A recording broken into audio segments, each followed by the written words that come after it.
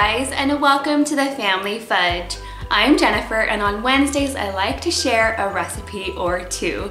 Today I'm going to be sharing some family friendly Valentine's Day recipes that are perfect if you're like me and want to do something special with the kids on Valentine's Day. I'm going to share with you ideas that come together quickly, that are easy for kids to help make, and that are tasty enough that even my pickiest eaters will eat them. So stay tuned. Now before we get started, today's video is part of a collaboration with several other awesome YouTube channels. Fallon from Moss Family TV, Nicole from Life Made Simply with Nikki, and my brother's channel, BigJon TV, We'll also be sharing some super cute but kid-friendly Valentine's Day recipes. Make sure to check out the playlist, I will link it down below. Now let's get started. We're starting things off by making brownies. Since these are going to take at least 30 minutes in the oven and need time to cool. We're going to be using these brownies in a dessert, which is similar to a trifle. To make this easy, we're going to use a store-bought brownie mix Ours just happens to be gluten-free so that everyone in the family can enjoy them. But you can use whatever brownie mix you prefer or even make it from scratch. Now while these brownies are in the oven and making the house smell delicious, Jackson and I are gonna get started on the main dish, which is pizza. Now when I was planning this dinner, I thought about making steak or seafood or even a fancy pasta dish. But I told myself, you know what? Let's just make what I know the kids are going to love, and that is pizza. We love making it and we love eating it, so that's what we're doing today. Keeping it simple. For our pizzas, Jackson and I are using some store-bought dough, keeping it super easy. And we use a large heart-shaped cookie cutter to make individual pizza crusts. To top our pizzas, Jackson helped cut out some heart-shaped turkey pepperoni, and I cut out some heart-shaped red bell peppers. Individual pizzas make it fun and special, and the kids really like making their own. Now, by the time the kids are done making their pizzas, their brownies are ready to come out of the oven, so we'll go ahead and take those out and put their pizzas in. Now, for my husband and myself, we ended up just doctoring up a store-bought gluten-free pizza to share with each other. We really like this cauliflower crust one from Trader Joe's. It's super easy, no fuss, and it doesn't leave us with a huge mess to clean up. Next, I prepared the salad while the girls helped to set the table. Many of our decorations we already had around the house. And just about everything else we found at the Dollar Tree.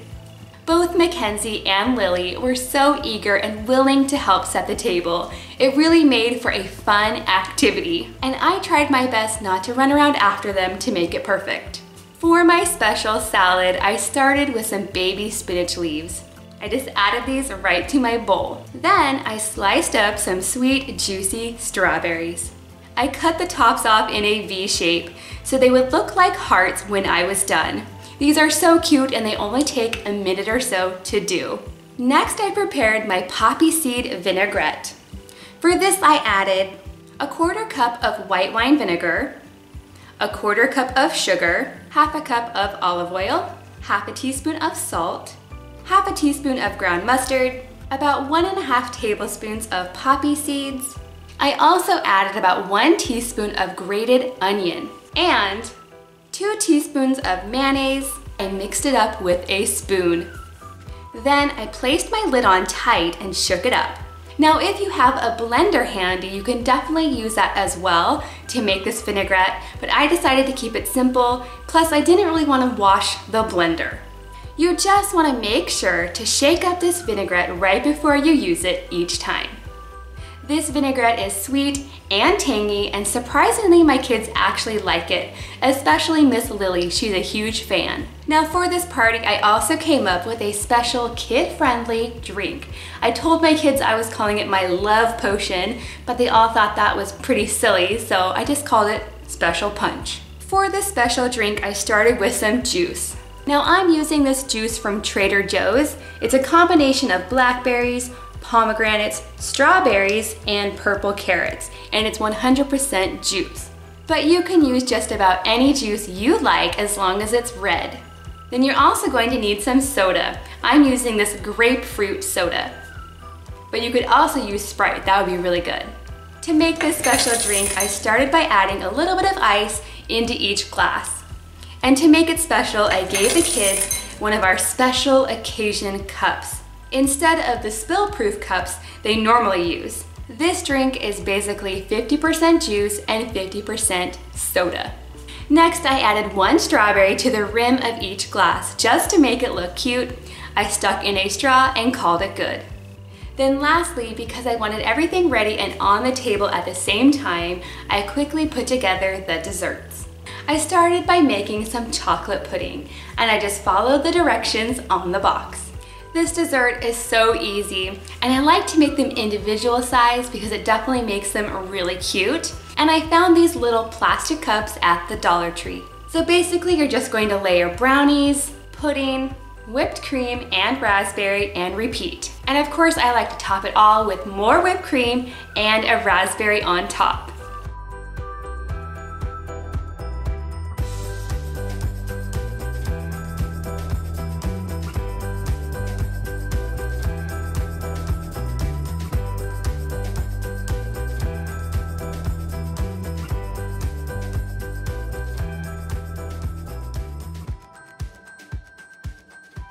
Okay guys, there you have it.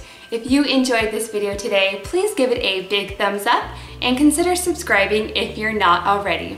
Now if you'd like to see more videos from me, you can do that by clicking on the link up here and down there. And don't forget to go check out all the other awesome recipes in this playlist. They are linked down below. Go check out all the other channels. They are awesome.